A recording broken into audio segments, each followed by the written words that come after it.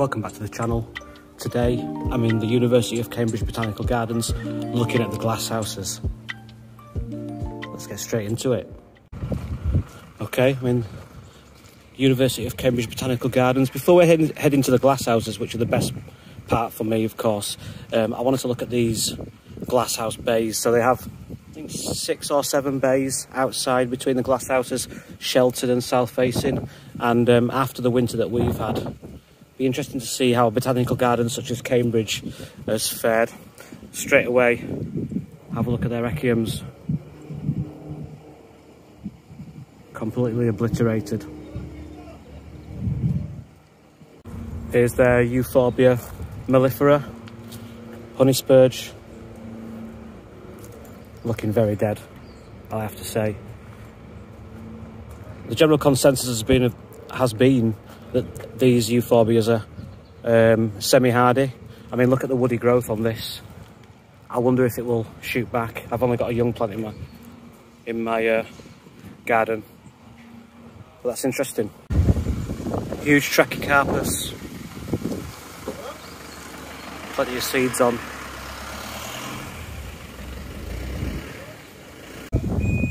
Okay, the Musa basjoo's looking very dead.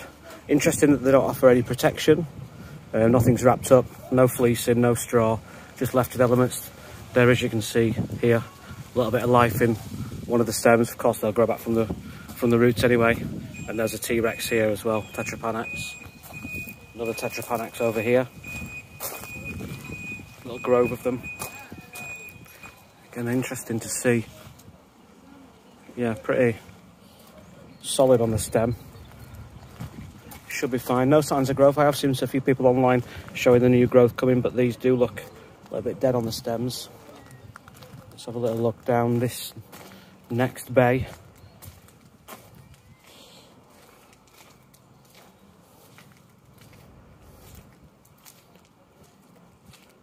I think this has Sarracenia in it. The pitcher plant, it does. I mean, they're alive. Is that a water soldier? Maybe not too hot on um, aquatic plants.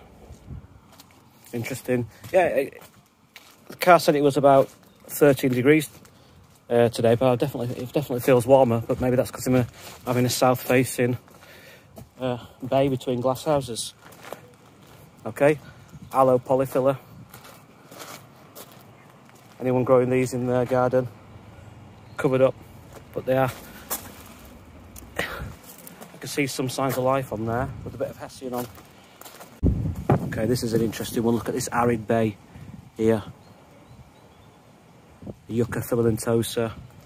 Now, there's the uh, what I assume is a agave americana, and it's under this um, plastic sheeting, so I can see. I mean, it's it's cordoned off, but I can see there the agave americana looking worse for wear undercover in a sheltered. You know, Cambridge is a pretty uh, a mild part of the country. There's some Opuntia back there as well.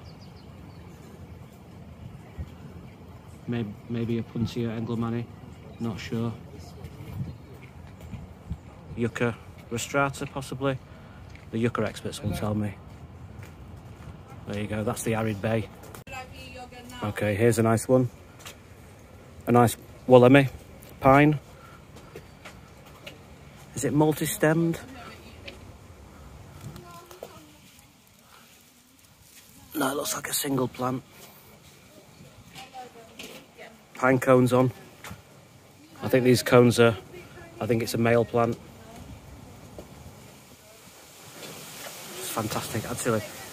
You can see, I think these have got a, a hardy down to minus 10 possibly.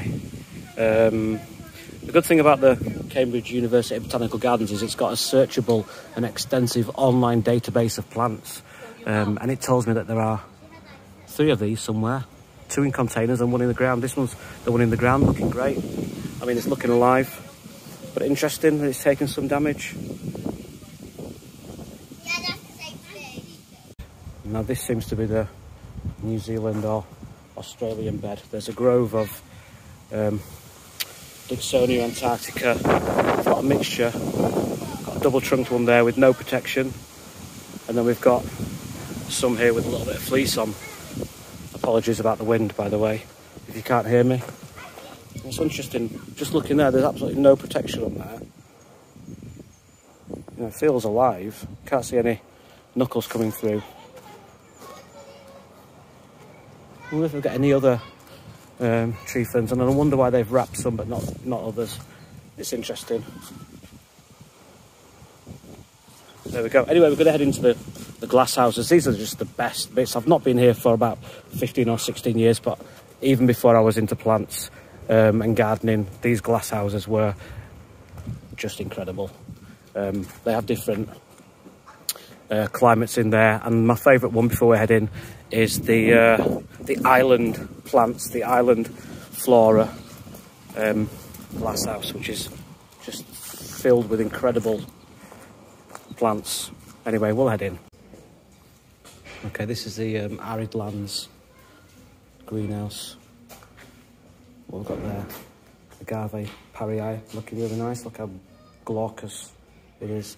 Love this one. Agave Victoria Regina.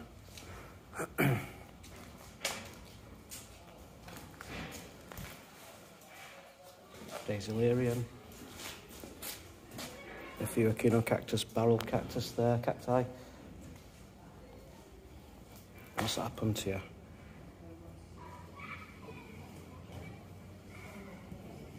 Snow, Stenopatella.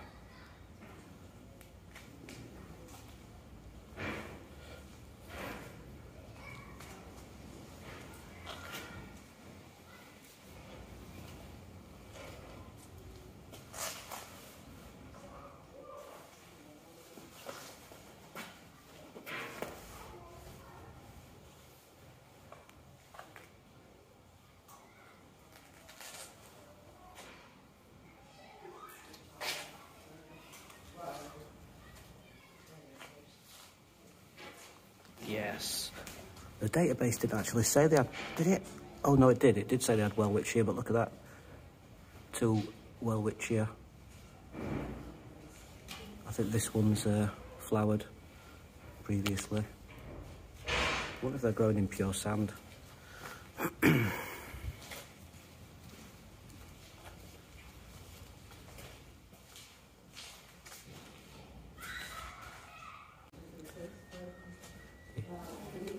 Love this plant. I see a lot of North American growers growing this in pots. I won't even attempt to pronounce it.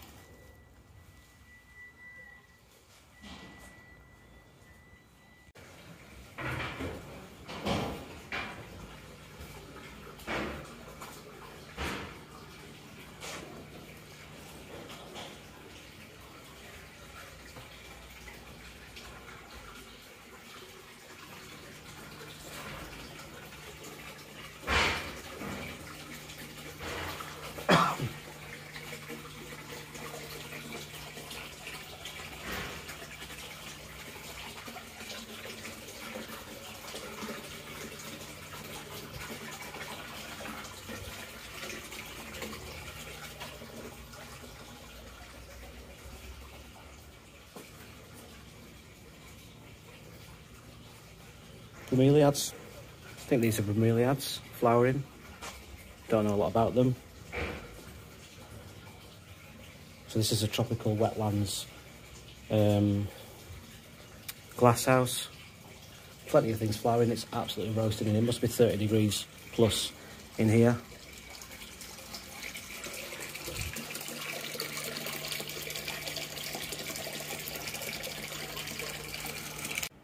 Look at the size of these. Pachypodium on either side of the walkway, absolutely huge. This is the tropical rainforest house.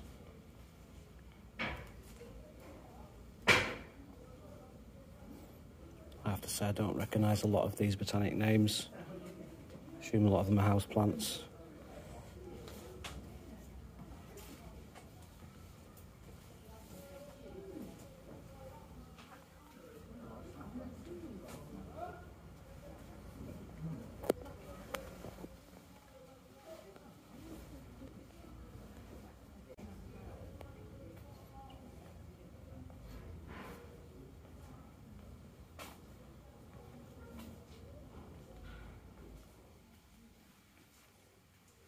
Here's a banana plant I've never heard of before. Musa acuminata microcarpa. What does microcarpa mean? Small flowers. Anyway, it's a huge, slender stem.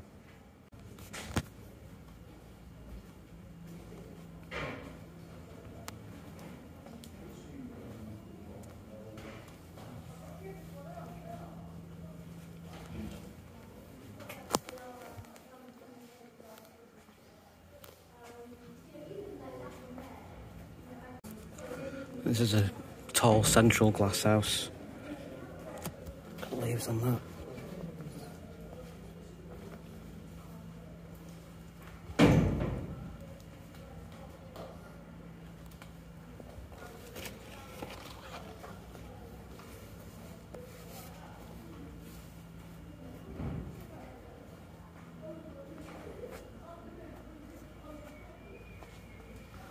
Ah, there's one of the moonflowers.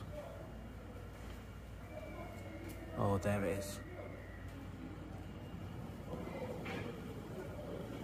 That's a moonflower that bloomed. The website said there's only 16 botanical gardens in the world with a moonflower. Very cool. Zoom out a little bit. Flowering jade vine.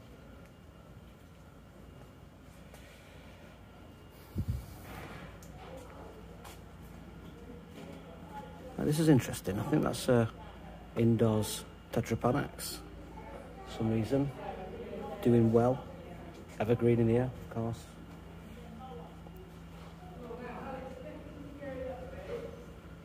Philodendron, philodendron, flowering. Huge trunks on that.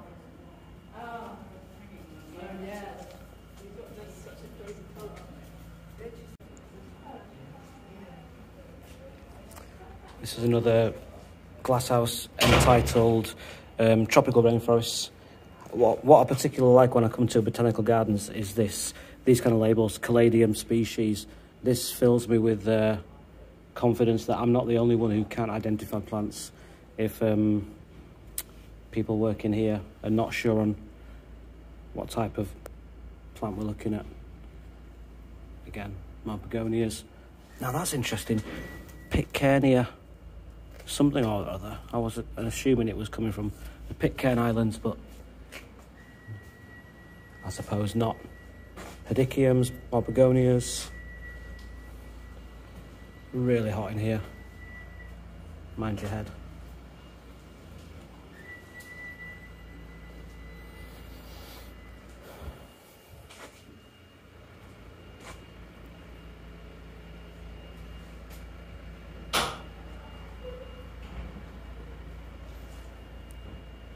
Dwarf Cavendish.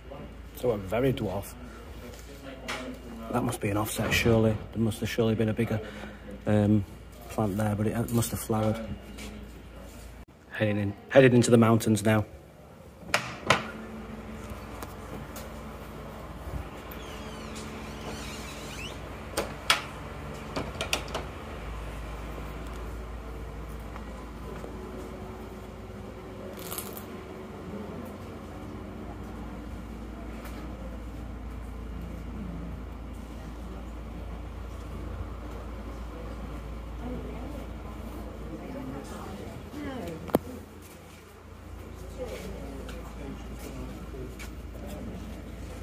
Interesting to see some cacti and succulents in the uh, mountain plants, mammillaria, rebutia,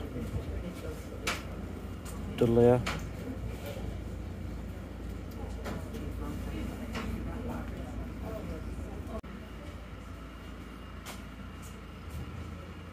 Cyclamen in flower, primula.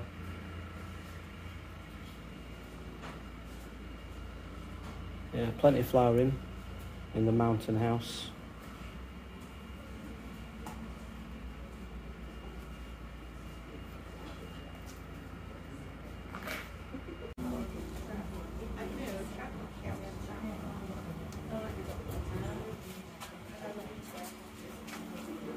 Yeah, just spotted this tree fern outside the Ocean Islands glass house. Um, it's from a, I, I thought it was a cyathea, but it's a Sphaeropteris uh, cooperi, but it's from the cyathea family. But look at the colour, look at the golden colour on the fronds.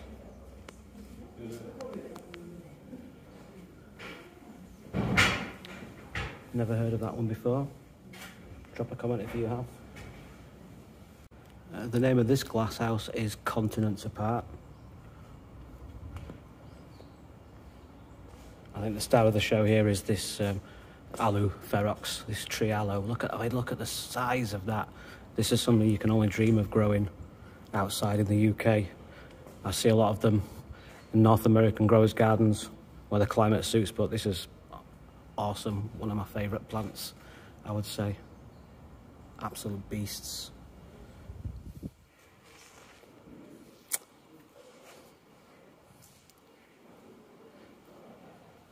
Yeah, I think the point of this uh, glasshouse is to show um, convergent evolution in plants from different continents. So you've got your Australian plants, it looks like on this side, and I assume your African plants there, seeing as we've got aloe ferox.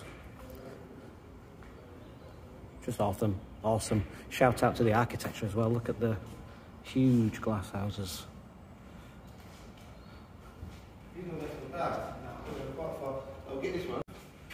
Bird of paradise flower in there.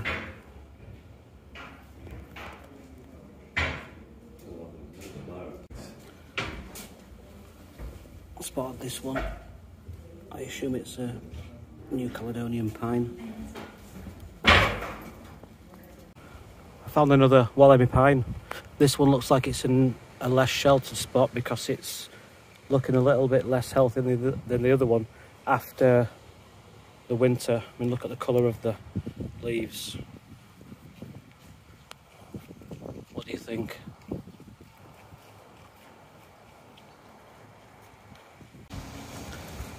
Anyone else love this natural look on the trackies where they leave the dead fronds on? I mean, look at this one. This is a huge trackie.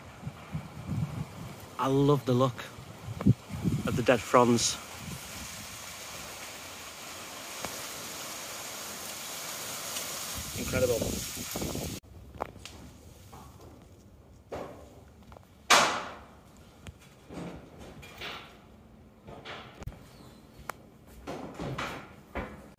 Yeah, this is my favourite glass house. It's called Oceanic Islands and it's showing you um, Canary Islands flora. I always find it fascinating how seeds manage to travel across oceans and colonise uh, volcanic islands um, we've got a lot of nice looking things in here like uh, Sonchus. I was going to say Sonchus canariensis, but it's not. I mean, uh, look at these dandelion-like flowers. Awesome. A lot of Sonchus, a lot of Aeonium, Canary Island palm.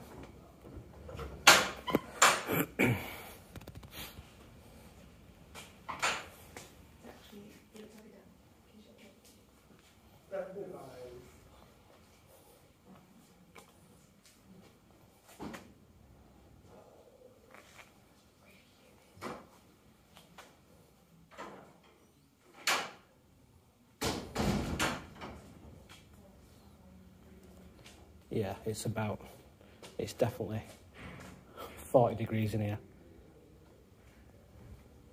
This is interesting.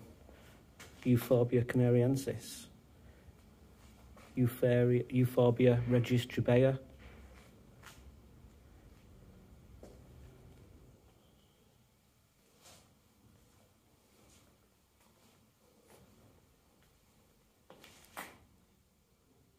I love these Sonchus. I'm growing a few Sonchus from seed uh, this year, so we'll see how they do. I think I got Sonchus palmensis, maybe. Some seed heads up there, look.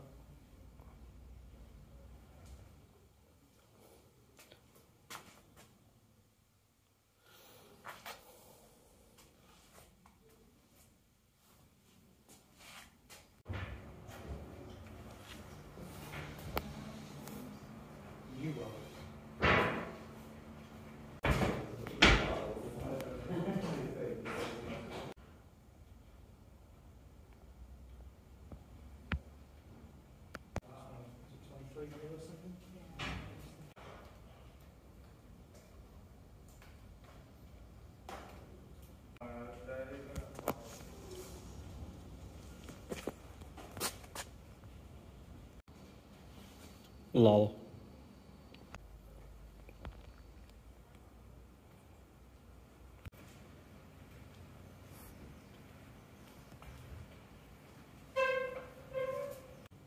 I found this bonus house around the back. I almost missed this, the Fern House. Listen, anything that's from New Caledonia is a special plant.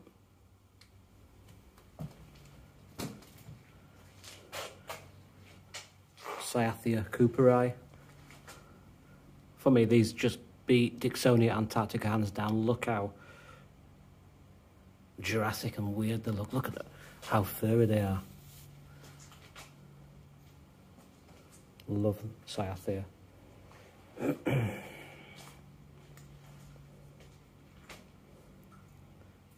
Adiantum ready for me, apparently.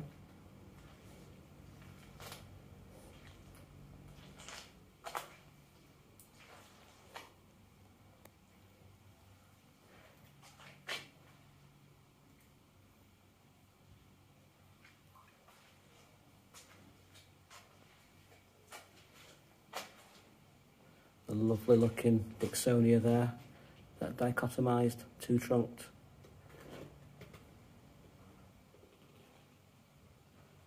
Really cool. Ah, lovely as well. Dicksonia squarosa. They just look awesome. I think the squarosa and the Cyathea cooperi just, I love their, the fronds. They're so upright a lot quicker growing than the Dicksonia antarctica. Each to their own though.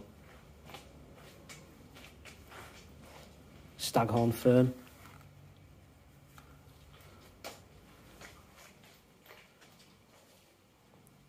Yeah, there is so much to see.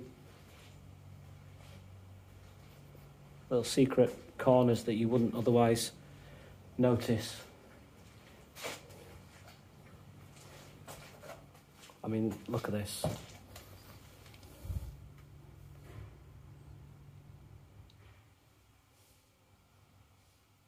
A peacock fern.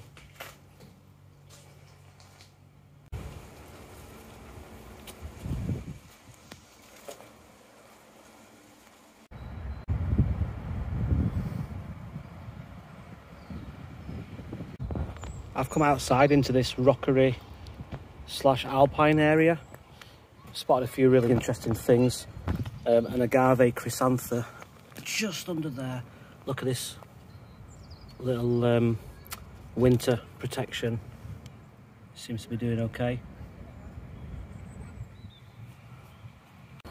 And in contrast, the agave americana is definitely bit in the dust. They've got it listed as a agave americana marginata marginata. Maybe it's a variegata. I don't know. It's definitely dead. There's a few more agaves. And there's an Opuntia. Look at this Opuntia. Let me zoom in so I can see the label. Opuntia plecantha, fecantha. The brown spined prickly pear from North America. Now this has got zero protection So that's interesting. Definitely one I'm going to look up when I get home for my own arid bed. Agave parrii, subspecies Neo Mexicana, doing well.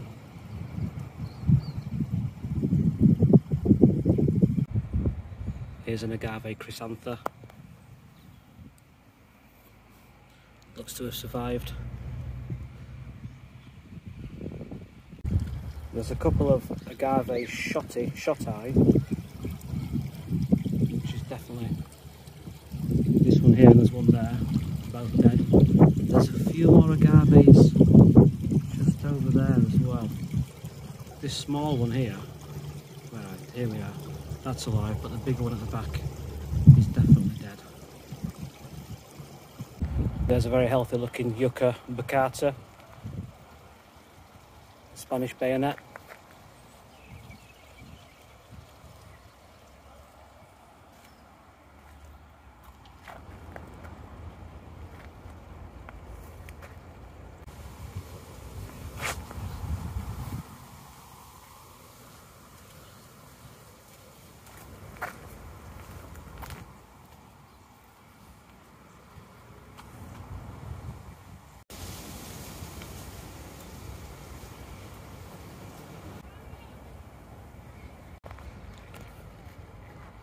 Not long until the Gunners wake up.